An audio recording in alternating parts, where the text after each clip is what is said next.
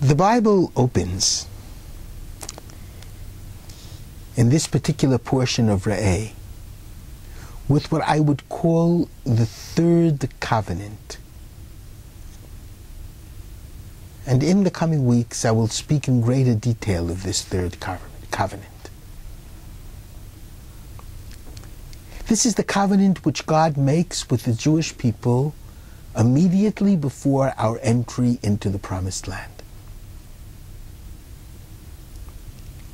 Chapter 11, verse 29.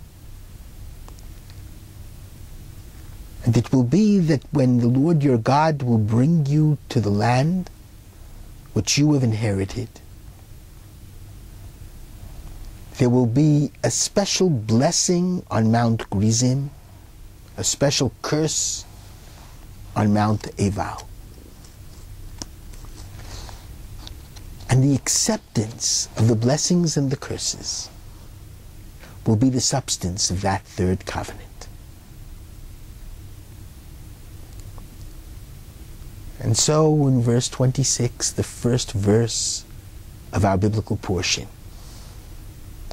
Re'eh, behold, God says, I am placing before you today the blessing and the curse.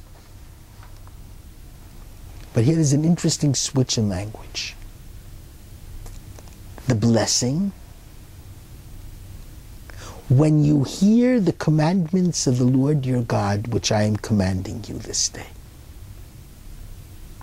The curse, if you do not hear the commandments of the Lord your God and turn away from his path.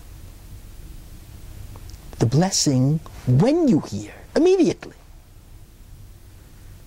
The curse if you do not hear. Not immediate.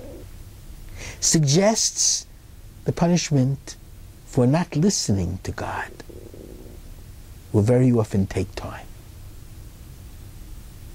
but insisting that the blessing is immediate.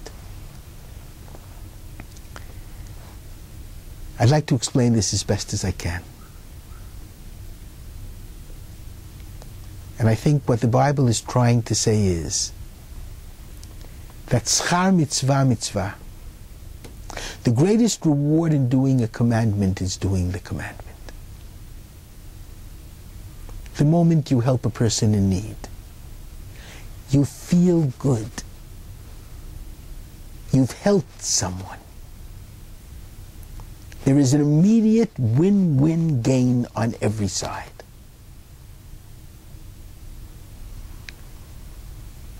Keeping the Sabbath day, seeing the family seated around the table, blessing their children, singing praises to your wife and songs of love and praise to God. Stopping busy activity. Being thankful for what you have. The preciousness of the Sabbath day is the most important immediate reward.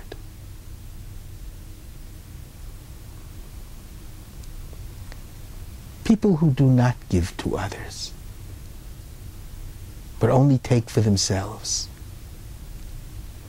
do not necessarily get punished. Certainly not on an immediate level. They can afford an extra home or an extra car, extra vacation time. To a certain extent, they enjoy all of these things. People who don't keep the Sabbath don't realize what they're missing. They have an extra day, often to play golf. However, at the end of their lives, when they understand that they lived a life without sharing, without giving, without leaving behind, understanding that there's no one who will really miss them because they didn't help anyone. When they look around and their children are scattered in all directions, partially because there was no Sabbath day to unite the family and cause them to be together. To give them a familial narrative and unique way of life that they will continue into the future.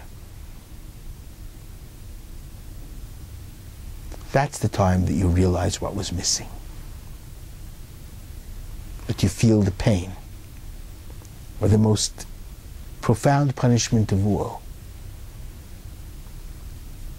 When you think about what the epitaph on your monument will say, if you've helped no one at all, you might as well not have lived. If you left nothing behind to carry on, what was the purpose of the period that you sojourned in this world? The blessing is immediate. The punishment sometimes takes time. But in Deuteronomy chapter 30, it's even more than that. A repetition of almost the very words that you've just heard in this week's biblical reading. Re'eh, behold, I have set before you this day life and the good, death and the evil. Choose life. We sometimes forget to choose life. We sometimes choose death. We don't realize how much real life the Sabbath can give us in terms of familial continuity. We don't realize how much more meaning life will have if we give to others. But if it's a life without giving, without the Sabbath, it's much more death than life. And the Bible cries out to us choose life. The reward will be immediate, not because it will give added years to your life necessarily, not because it will make you a rich person, but because it will make your life meaningful and worthwhile. Because it will help to find that you are participating in eternity. And that, in the final analysis, is the greatest blessing that life can bring. Shabbat Shalom.